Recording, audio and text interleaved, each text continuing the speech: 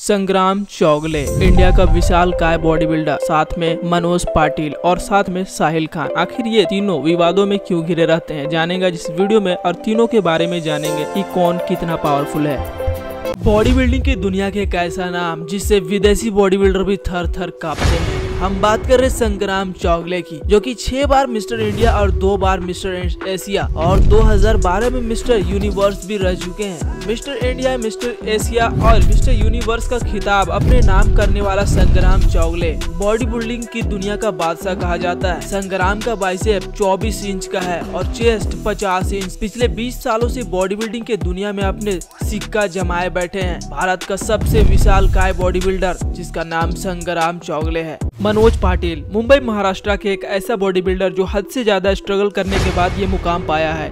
ये अपने लाइफ में पेपर बेचने से लेकर दूध बेचने तक का काम किया है।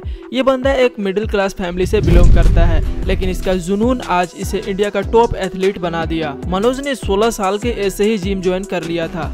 जब मनोज पाटिल 19 साल के हुए थे, तब ये लाइफ के पहले कंपटीशन खेले और वो मिस्टर महाराष्ट्र बने थे। फिर बहुत सारे छोटे छोटे शोज़ और कंपटीशन खेलते रहे, लेकिन इनका लाइफ चेंजिंग कंपटीशन तब आया 2016 में। 2016 में ये मिस्टर इंडिया का टाइटल अपने नाम किए। 2017 में महाराष्ट्र सीरीज़ खेले 2018 में तीन शोज़ और खेले और आखिरकार इतने मेहनत के बाद 2019 में आई प्रो कार्ड हासिल कर ही लिया अपने नाम। अब नेक्स्ट टारगेट है मिस्टर ओलंपिया खेलने का और इंडिया का नाम रोशन करने का। आपको तो पता ही होगा रिसेंट में हुए कंट्रोवर्सी के बारे में, लेकिन आप क्या सोचते हैं मनोज पाटिल के बारे में आप कमेंट में ज़रूर लिखिए।